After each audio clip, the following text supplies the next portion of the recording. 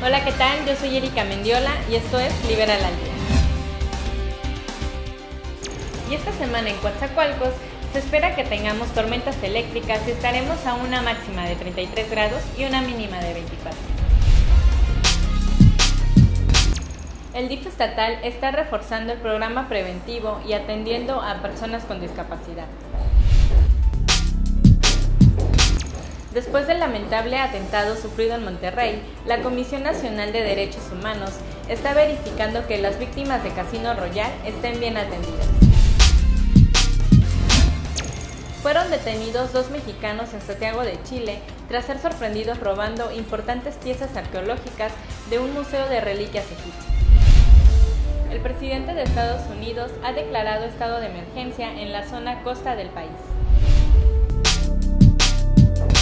Calificadora de riesgo crediticio Standard Poor's afirmó que la reciente baja en la calificación de Estados Unidos tendrá un impacto mínimo en los bancos de México.